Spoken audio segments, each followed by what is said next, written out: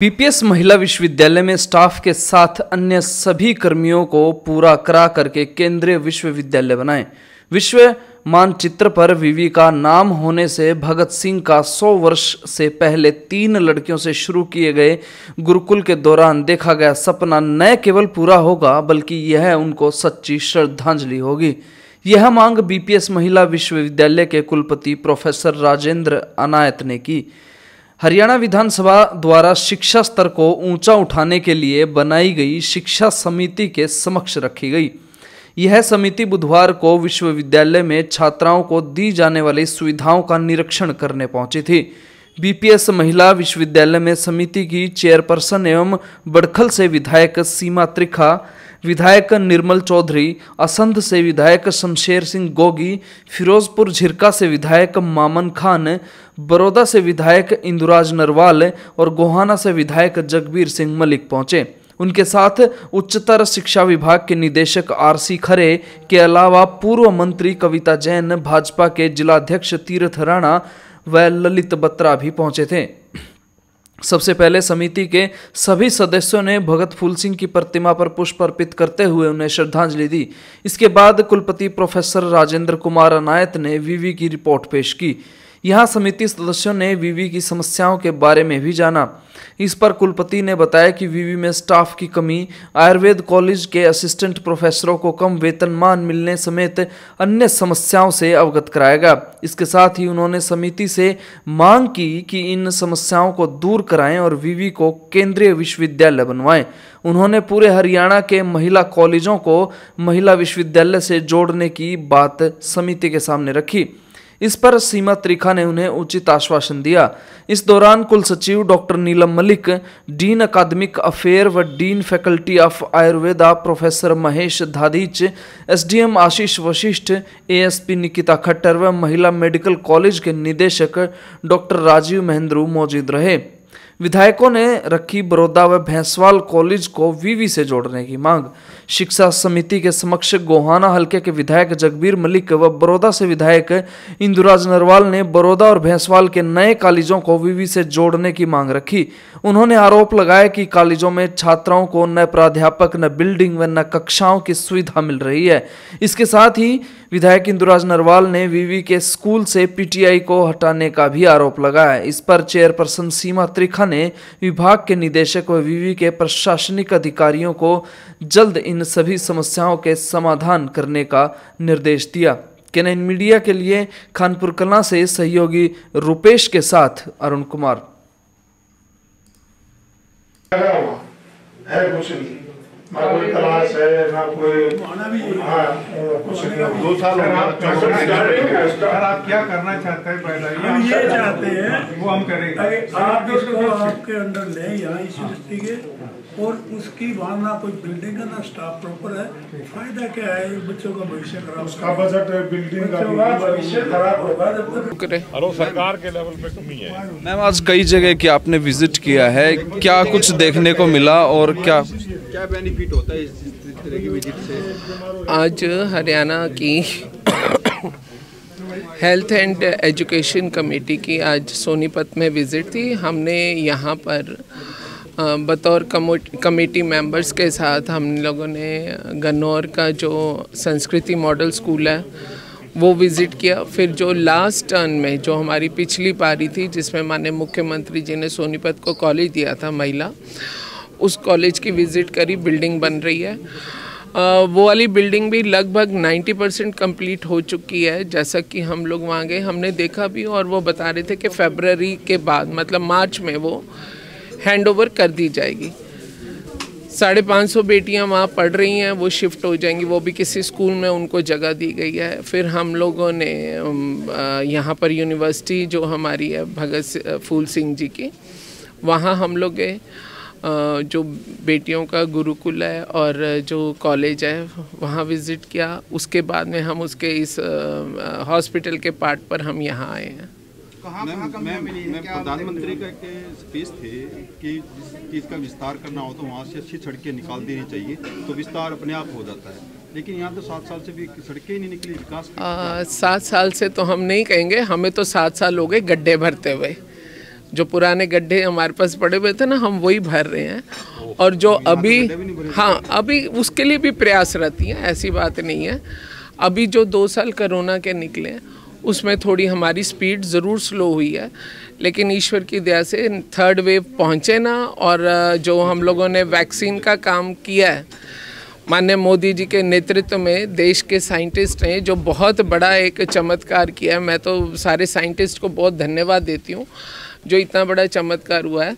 तो इसकी बदौलत कोरोना आए ना तो फिर उसके बाद में दोबारा से रफ्तार तेज़ होगी।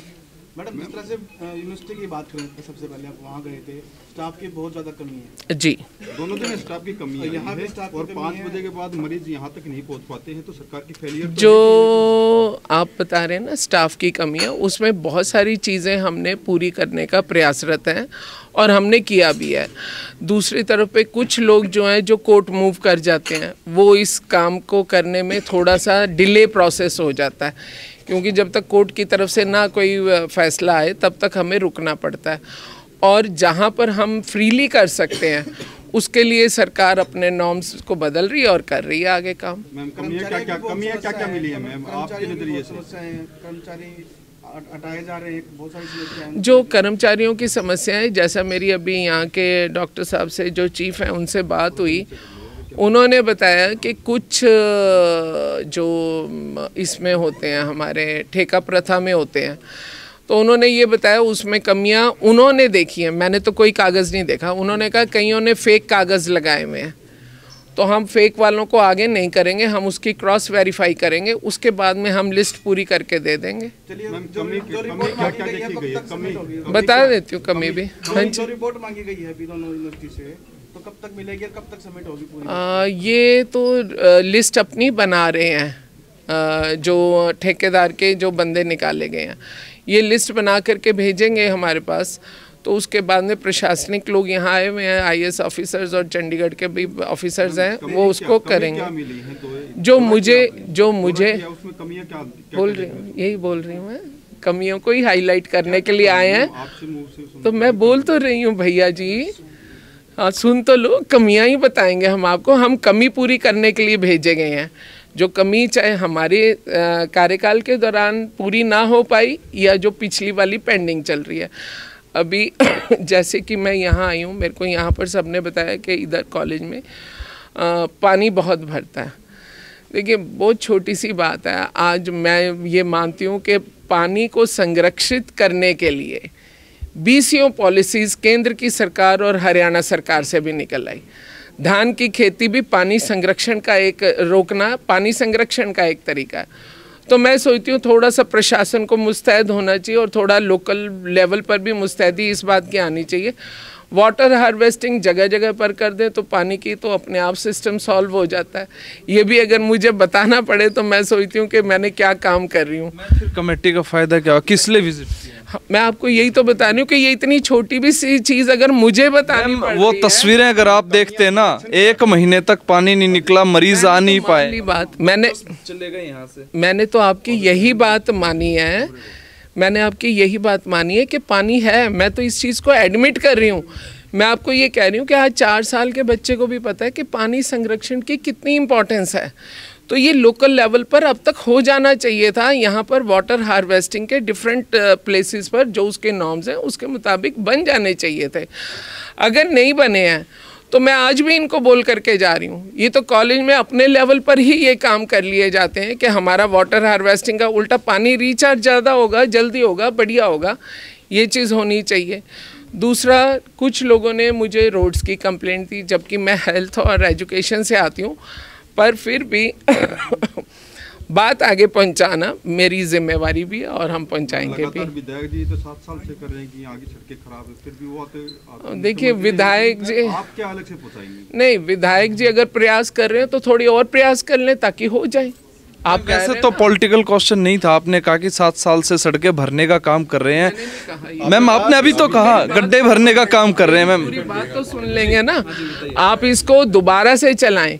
और आप उसमें चेक करें। उन्होंने कहा जी क्या हो रहा था? तो मैंने कहा जी अभी तक तो हम पुराने ही गड्ढे भर रहे हैं। हाँ तो पुराने भर रहे हैं ना। मैम जब पुराने गड्ढे भरने की बात थी ना तो इस मेडिकल कॉलेज में पाँच पाँच हज़ार ओपीडी एक दिन में होती थी। अब क्या हो गया कि वो हर रोज कम हो रही है? मैं अभी आपको बता देती हूँ ईश्वर ना करे कि थर्ड वेव आए। वेव से पहले भी ऐसा ही था। मैं मैं तो आपको दो साल की इनकी रिपोर्ट ले रही हूँ करोना स्पेशल ईश्वर ना करे कि थर्ड वेव आए। मेरी अपनी मदर है जिनकी एज है सेवेंटी सिक्स ईयर्स उनको अगर डॉक्टर के जाना होता है मैं वीडियो कॉल पे कराती हूँ बात भगवान ना करे कि हॉस्पिटल जाने की मेरी बात पूरी हो लेने दीजिए। कोई भी व्यक्ति जो डॉक्टर से संबंध रखते हैं डॉक्टर के जाना पड़ता है मैक्सिमम डॉक्टर्स ये बोलते हैं कि अगर ज़रूरत नहीं है तो प्लीज़ बच्चों को और सीनियर सिटीजन्स को हॉस्पिटल ना लाएँ until and unless it is very very urgent and emergency अगर कंसल्टेशन वीडियो कॉलिंग पे हो सकती है हमने तो उसमें कोरोना में भी वीडियो कॉलिंग की कंसल्टेशन सिर्फ़ ड्यूरेशन कोरोना है कोरोना से पहले भी यही हाल हो रहा था। कोरोना में हम नहीं कह रहे हैं कोरोना को निकाल दीजिए आप कोरोना वाले पीरियड को उससे आप पहले कोरोना हम इसलिए नहीं निकाल सकते क्योंकि जो हमारा पहले लेट मी कंप्लीट मैं पूरा करूँ ना? कोरोना का पीरियड हम बिल्कुल भी नहीं निकाल सकते क्योंकि जो हमारी सिविल डेवलपमेंट है, जो हमारी कंस्ट्रक्शन डेवलपमेंट है, वो बेसिकली स्लो डाउन ही लास्ट टू ईयर्स में हुई है। अभी हमारा जो हरियाणा हरियाणा में पूरे भारत के लोग आकर के बसते हैं। मैं जिस शहर से आती हूँ आप माने कि जब कोरोना की फ़र्स्ट वेव थी, ये जो लोग इतने पैदल जाते हुए दिखाई दे रहे थे, वो कौन लोग थे? वो वही हमारे पुरुषार्थी लोग थे, जो कहीं बिल्डिंग बनाते हैं, कहीं पर वो खेतों में काम करते हैं, वो सब लोग अपने गाँव जा रहे थे। तो ये एक बहुत बड़ा कारण है। थैंक यू रिलीवेंट बहुत सारे संस्थानों को आज विपक्षी विधायक भी मौजूद थे और सत्ता में बैठे हुए विधायक भी थे, लेकिन बहुत बड़ी बात है, कमियाँ बहुत सारी थी, लेकिन उसके बावजूद भी कुछ लीपा पोती का माहौल हमें तो नज़र आया। विधायक इंदुराज नरवाल हैं, जो बड़ौदा विधानसभा क्षेत्र से हैं, और महिला मेडिकल कॉलेज और खानपुर विश्वविद्यालय का जो दौरा किया है, उसके बाद क्या चीज़ निकल के सामने आई, इनसे जानने की कोशिश करते विधायक जी, बहुत सारे इश्यूज़ उठाए, लेकिन उसके बावजूद भी शायद वो सेटिस्फैक्ट्री जवाब नहीं मिल देखिए, मैं आपको बताना चाहूँगा, मैं इस एजुकेशन स्वास्थ्य कमेटी का स्थायी मेंबर हूँ और मैंने ये विज़िट रख, रखवाई कह के, इसलिए रखवाई कि खानपुर पीजीआई चाहे यूनिवर्सिटी हुई, ये खुद खानपुर पीजीआई की बात करें खुद बीमार है। मैं इसीलिए कमेटी को ले गया। आपने देखे यहाँ कितने इशू आए, यहाँ डॉक्टर नहीं है, यहाँ ऑपरेशन जो इमरजेंसी ऑपरेशन होता है, वो मशीन खराब पड़ी है चार साल से। यहाँ कोई भी सुविधा नहीं है। आपने देखा ओपीडी भी तेरह सौ आ गई जो छः हज़ार की होती थी। और आपने देखा यहाँ जो लोकल यहाँ के लेकिन आपकी कमेटी के चेयरमैन तो ये चीज़ मानने को तैयार नहीं है। वो तो दो साल कोरोना काल को ही कोस रहे हैं जबकि ओपीडी तो पहले से ही गिरनी स्टार्ट होगी देखिए मैं तो आपके चैनल में यही कहना चाहूँगा ये कमेटी कोई बीजेपी और कांग्रेस की नहीं है। ये विधानसभा की कमेटी है। जो सत्य है वो कहना चाहिए। चाहे वो मैं हूँ चाहे चेयरमैन लगे आपको कई नहीं उसमें कुछ देखा हुआ तभी आपने इसका उठाया सवाल और इसको भी हम आ, जो आगे आने वाली कमेटी है जो विधानसभा में होगी मैं उस पर बैठ के हम चर्चा हो करेंगे हाँ बिल्कुल करेंगे। और आपने देखा मैंने तो यहाँ भी उठाई है। यहाँ घटती जा रही है लगातार सड़कें नहीं है हॉस्पिटल के अंदर पानी भर जाता है। तो इस पर रिचार्ज सिस्टम री हार्वेस्टिंग सिस्टम सरकार को बनवा देना चाहिए तो आसान सा काम है। लेकिन मेरे को लगता है कि सरकार का किसी कारणवश इधर ध्यान ही नहीं है। गड़बड़ यहाँ यहाँ है। विधानसभा में ये मामला जो है, यहाँ के लोकल लोग उठाएँगे तो हम भी पूरी सपोर्ट करेंगे। जब आपने रोड खराब की बात कही और कही, जब आपको कह दिया कि आपका शरीर अच्छा है, इसलिए नहीं नहीं, मेरा शरीर अच्छा है या नहीं है। लेकिन यहाँ कमियों से ही मामला भरा पड़ा है, यहाँ डॉक्टरों की दिक्कत नहीं है। या डॉक्टरों की वजह से कोई दिक्कत नहीं है। डॉक्टर तो काम करना चाहते हैं, लेकिन उनके पास साधन ही नहीं है, सुविधा ही नहीं है। तो इस वजह से दिक्कत आ रही है। आपके चेयरपर्सन बीजेपी के विधायक ने कहा कि अब तो सात साल से गड्ढे भरने का काम कर रहे हैं। वो तो देखो वो तो जब कोई आदमी फंस जाता है ना तो फिर अपनी मतलब बहाने बनाता है इधर उधर जाने का। तो गड्ढे भरने के लिए कितने साल चाहिए? आगे तो जनता उखाड़ के फेंक देगी गड्ढे वापस ही नए बन जाएँगे। सुनो विधायक जी क्या लगा, कमेटी शिक्षा और स्वास्थ्य पे फोकस को थी? लेकिन जो नज़र आया अंदर, सात साल में पिछली सरकार के गड्ढे भरने का काम मतलब इस तरह की भाषा का इस्तेमाल। कमेटी को तो पॉजिटिव व्यू लेके, अगर हमारी कमियाँ क्या हैं, चाहे किसी भी सरकार के, पिछली सरकार में रही हो, चाहे इस सरकार में, हम कैसे सुधार कर सकते हैं? ये पॉजिटिव व्यू लेके हमें आगे बढ़ना चाहिए। हमने ये कमियाँ बताई हैं, अगर भाई एट प्रेजेंट ये कमियाँ हैं। तो जो कमी है उनको ठीक करना चाहिए। और मैं तो हर सेशन में इन डॉक्टर्स के बारे में इनके बारे में मेडिकल कॉलेज के बारे में सड़कों के बारे में पूरा उठाता रहा हूँ क्वेश्चन और हर बार ये करता हूँ यहाँ डॉक्टर पूरे होने चाहिए। इस विज़िट से कुछ फ़ायदा होगा मलिक साहब? हाँ विज़िट से फ़ायदा होगा। ये विज़िट यहाँ जो ज़रूरत की चीज़ें हैं वो उनको कहें। जैसे अब एक चेयर है सी आर्म ऑपरेशन थिएटर में इमरजेंसी का। वो चार साल से नहीं है। अब इनके नोटिस में लाए हैं।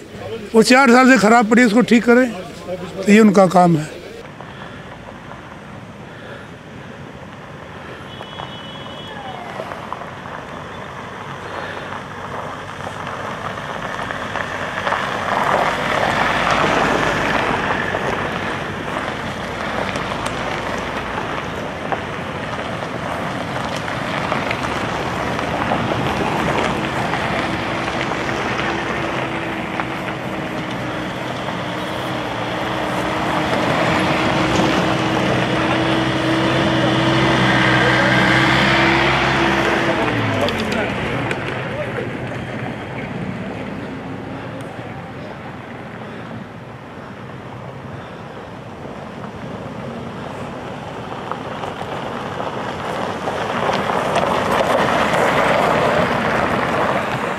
आईसीएस में जॉब गारंटी बैच फिर से आ रहा है। जिसमें सिलेक्शन 100 परसेंट गारंटीड होगा वही तीन से चार घंटे की डेली क्लास तीन से चार घंटे का होमवर्क आईसीएस होमवर्क ऐप पर डेली टेस्ट जिस दिन आईसीएस की टीम में स्टूडेंट्स का सिलेक्शन करवाने का दम नहीं होगा ना उस दिन सेंटर बंद कर देंगे।